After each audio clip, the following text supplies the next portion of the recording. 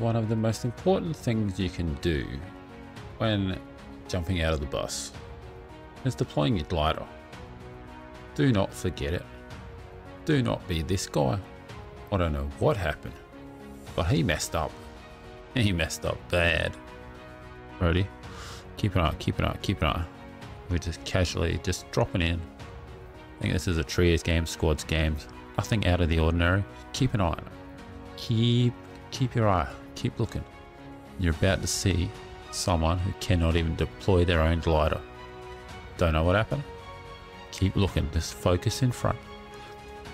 And hit. There he goes. Free kill. And this is what happens when you don't deploy your glider. Ready? Ready?